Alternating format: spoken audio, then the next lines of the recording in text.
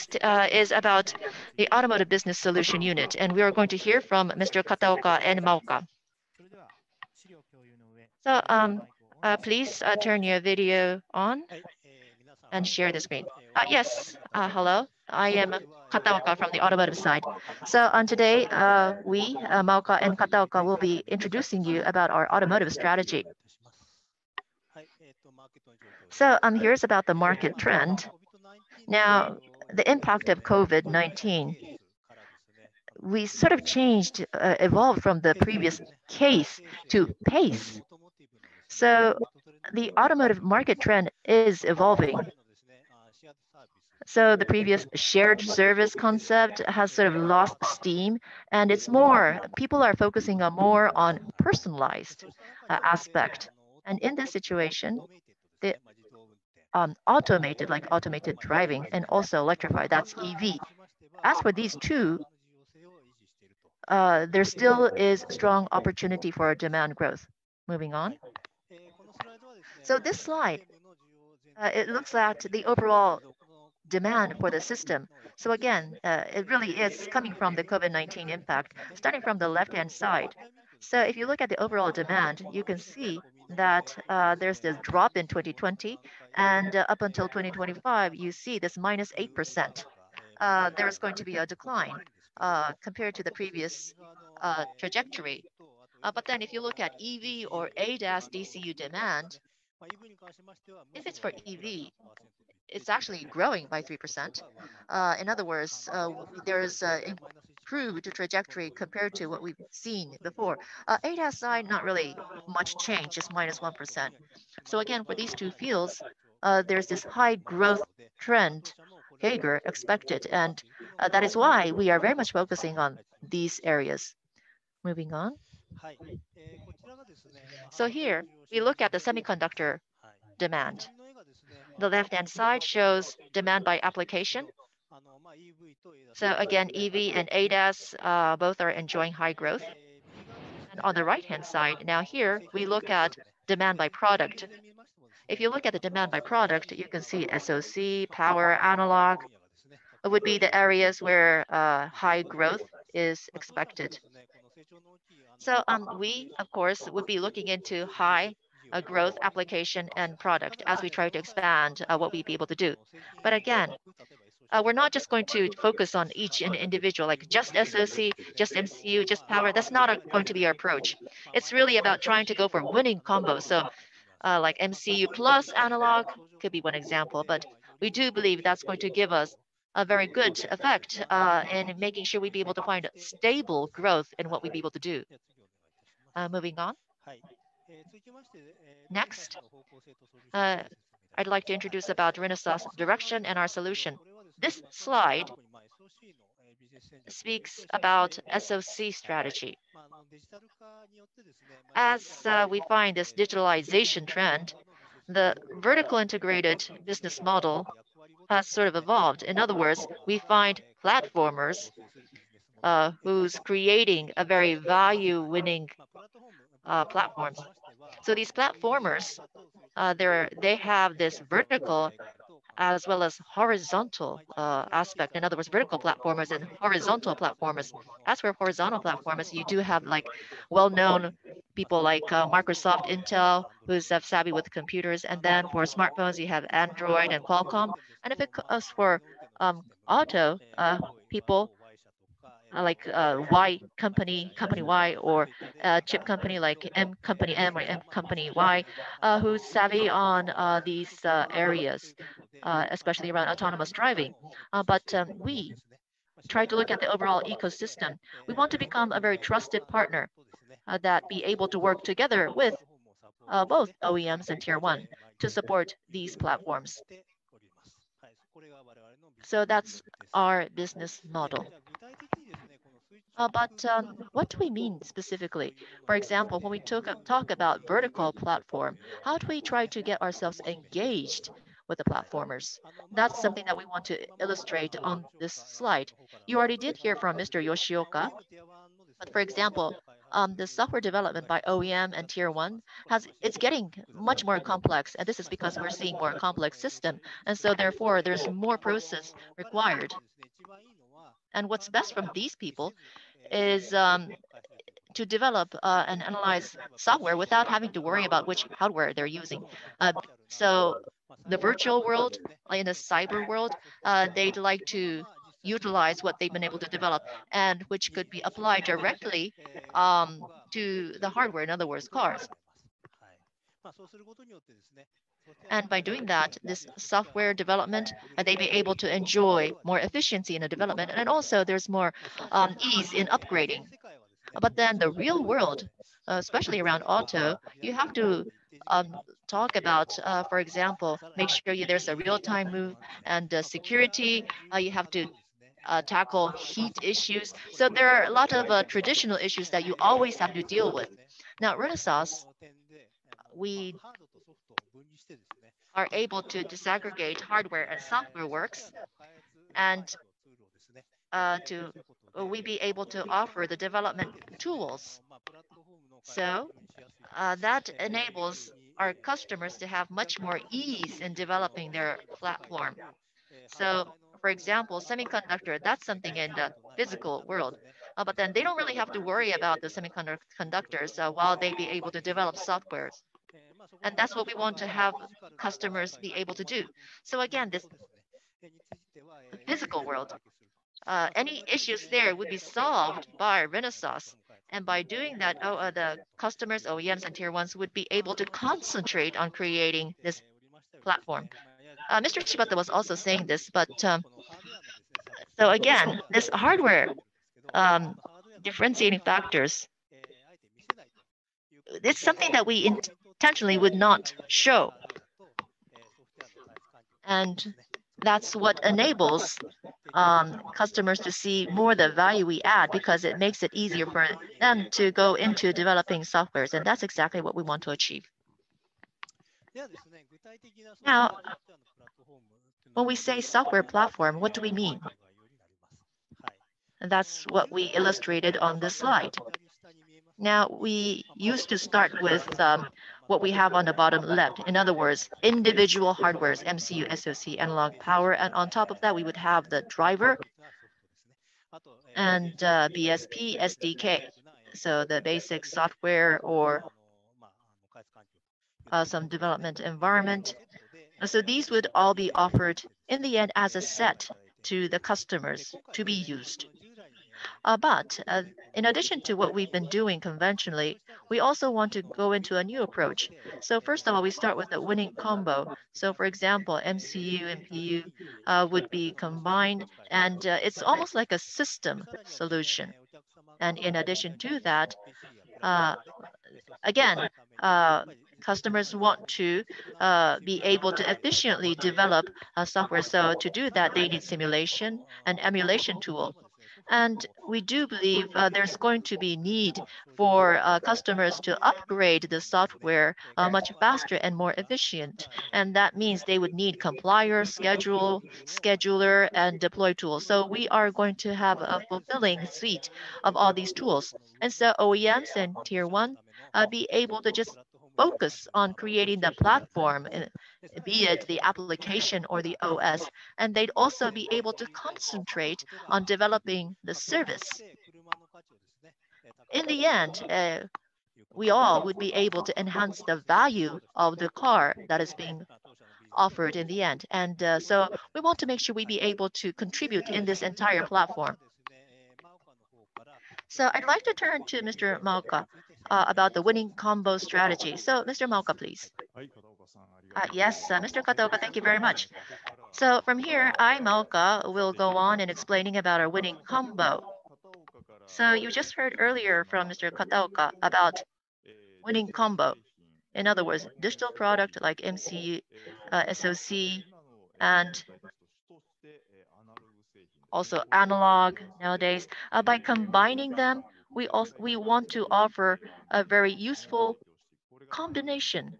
And that's really the concept behind our winning combo.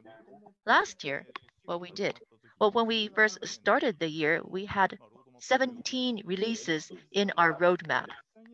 But in the end, there were several more projects that we were able to advance earlier. And uh, there were also some other new ideas, another new requests coming from our customers. And so in the end, we were able to accelerate the number of winning combos during 2020. So In the end, we were able to release 21 winning combos. That's an overachievement. Uh, but then, uh, Mr. Kataoka also did mention at the outset, ADAS or xEV, the growth areas, we were able to have half of um, these uh, 21 winning combos allocated to these growth areas, uh, like four to six each. And that was very good. And also for the analog product design-in, we too were able to um, have a higher growth. And I do want to uh, make uh, sure that I speak about this a little more afterwards. Uh, there was actually this very large project that did have an that did contribute largely to this growth, but um, we were able to make a very good result. So again, in the winning combo, here we focus more on the analog side. So First of all, here we look at the contents. So again, at the beginning, you heard about the strategy, corporate strategy from Mr. Shibata, and uh, he talked about enhancing the quality of what we'd be able to offer. Now, uh, during the strategy update meeting back in last August, of course, back then, we didn't have much numbers uh, to talk about, but um, it wasn't really well-balanced. The products weren't really balanced, like power management IC or timing IC were the Um, areas where uh, we were sort of concentrating. To, The number were too concentrated on this area. But then um, afterwards, we actually have been able to uh, obtain design-in in more areas. So now we are better balanced. You do see this dotted line in red, and uh, this is actually one single project. So this is like an outlier. So, if you exclude this single project portion, you can see that design-in were obtained in various areas, various products. And also during the strategy update meeting in August, there was also one thing that we stressed. Uh, so here's the emerging markets, India and China. And at the moment, uh, we find a very good response, a good success rate. That's what I mentioned uh, back in August. But then um, now we find the momentum continuing. So India and China, both markets, uh, both countries are contributing or is showing good growth. From here, allow me to go over with you a bit about our EV strategy, just briefly. Allow me to show you how we see the situation at this moment. You did hear from Mr. Kataoka, but even in this COVID uh, pandemic, EV market actually has accelerated its momentum. This was also something included in uh, Mr. Shibata's presentation, but at the moment, there is this boom on ESG. In other words, there's this higher awareness in going green. Uh, carbon neutral, uh, the initiatives are being announced from many governments and companies. And so that's why uh, more people are paying more attention to EV. Tier 1 OEM clients that we talk with are also focusing on this area. So it is also going to be important that we focus on our xEV strategy. Now, we acquired Intersil and IDT, but before that, what assets did we have in this space? It was really around MCU. And within that, uh, some of the major OEMs or Tier 1 customers that we uh, engaged, um, we were able to offer them um, products like IGBT and MOSFET, and that was the existing assets that we used to have. Uh, but then after Intersil and IDT acquisition, we were able to start offering new assets. Be it inductive position sensor, and also um, inductive position sensor, which enables you to have more flexibility in design. Uh, this is something that Mr. Shibata also introduced. And also there was sensor signal conditioner. This is uh, really about sensor conditioning, a signal conditioning uh, from MCUs that we were able to obtain, and also a battery management IC. This uh, is very much uh, going to be a core component uh, for accelerating our xEV strategy. In other words, we do believe we have more wider area of things we'd be able to offer as our solution. Now, how uh, have we been able to expand the scope is something that you'll be able to find on the bottom chart. So uh, first of all, um, through our SOC strategy, when we talked about our SOC strategy, we used to talk of this in this uh, axis, including customer technology integration. And so this would be where we'd be offering uh, digital products. We had more engagement with the major customers. Uh, but then eventually we've been, we started to offer more analog products. For example, the customers that Intersil and IDT would have uh, would be looking into, I would not be really looking into uh, uh, the depth, but then by being able to have engagement with more um, types of customers, we do believe uh, we are having more types of engagement. And uh, by having a better combination of what we'd be able to offer, now we're able to go into the more emerging markets. So it's not just about having more portfolio. It's about more competence that we would have in being able to have more coverage in what we'd be able to do. Uh, but in terms of application, what more can we do now? This is what the slide is trying to illustrate. So again, this market itself is enjoying a very high growth. We did have MCU competence, and to that we have battery management ICU, we have position sensor, sensor signal conditioner, uh, we have power discrete. So we have been able to combine them all now. In other words, we've been able to really grow what we be able to offer to uh, to strive differentiation. Uh, we now are able to offer a winning combo. And also we are able to have a solution that is more easier to use.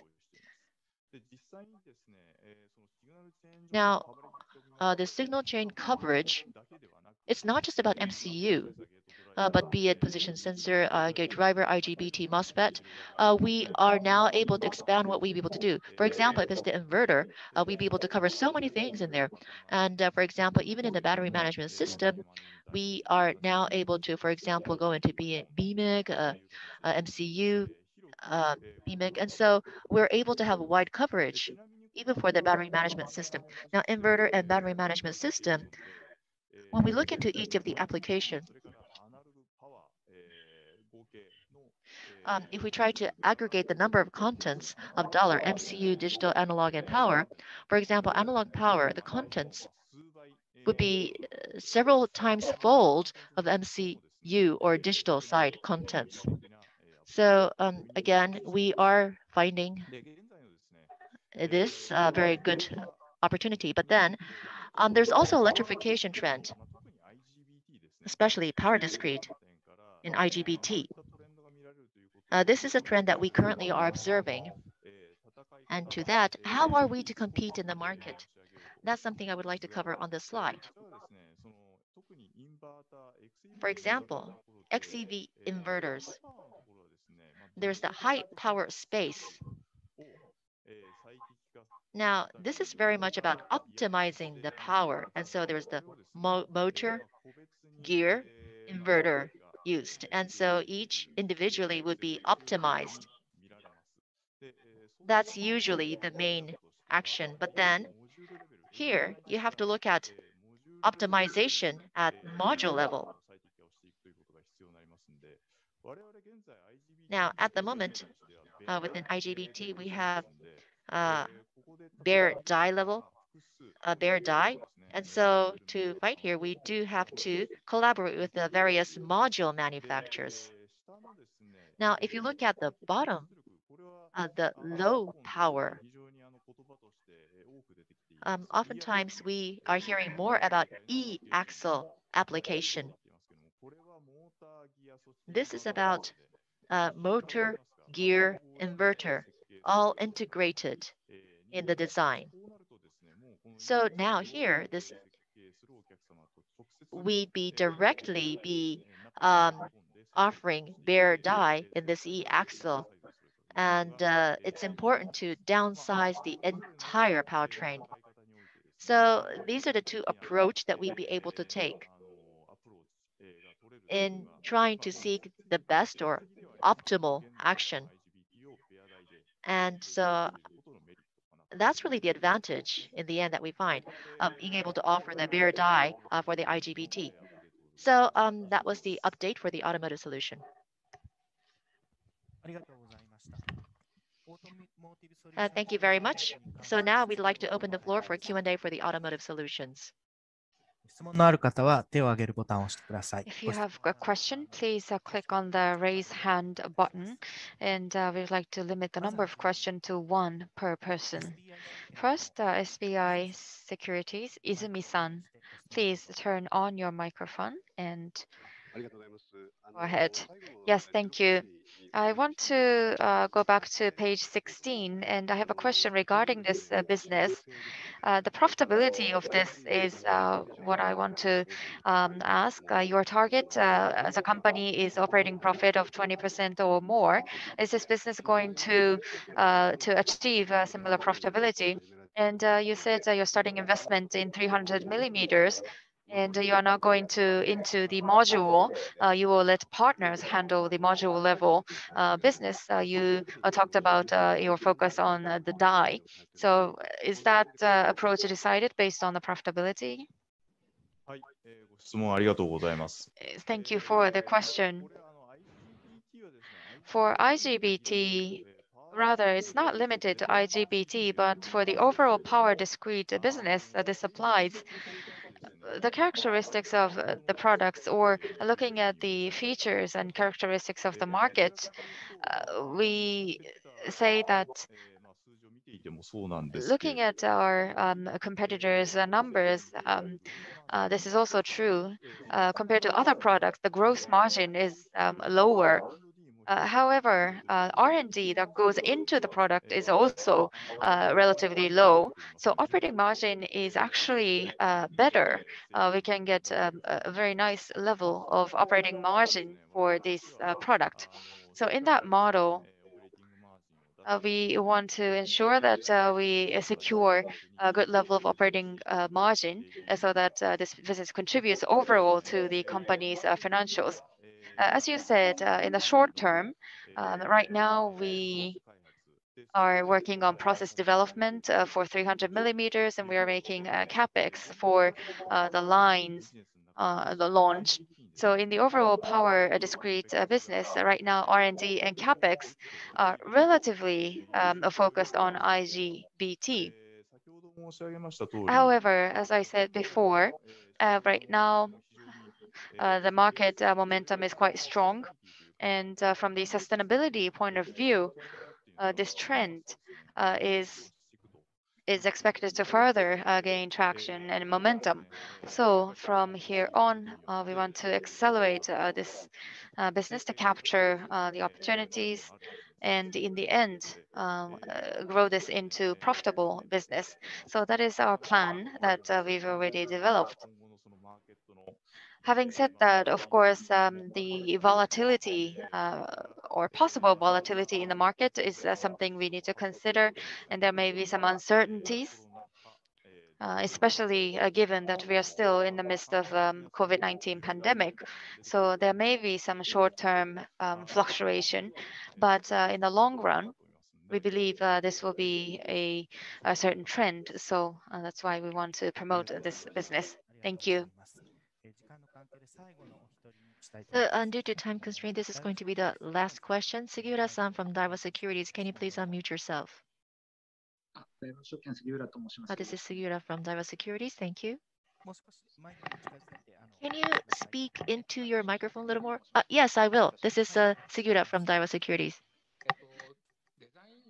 So I'd like to ask about design in. You earlier talked about winning combo, and uh, you said that you've been you're able to strike a better balance uh, because you're able to offer to various applications. But then looking back 2020, for example, if you look at the overall application of design in, how did it look like back in 2020? For example, ADAS, EV, uh, some of the potentials, uh, there's a lot of potentials here. Do you find more of that now? And as we look into 2021, what is your strategy behind um, gaining the digital in? Which applications would you be looking at?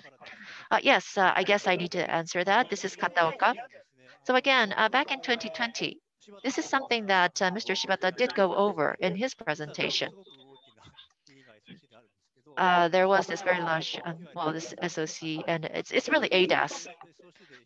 It's also a large SOC, which was connected gateway. Uh, this is about, uh, it comes from e-architecture evolution. It's a central computing. And uh, so again, SOC really had a very large proportion. Now, as we try to look into the new three area, ADAS, EV, and also um, new architecture, the gateway, and also the surrounding areas, MCU and domain control MCU, uh, we do believe we are able to have better balanced coverage there. Now, the trend that we observed in 2020 probably will stay in 2020, but then because we were able to launch a very win large deal design in last year, uh, we do believe um, um, we probably would not be keeping the same type of a CAGR momentum. Of course, we do have set a target for ourselves. Uh, but again, this year, we want to expand winning combo, especially for XEV. Uh, we really are trying to add IGBT to MCU where our core competence are and also.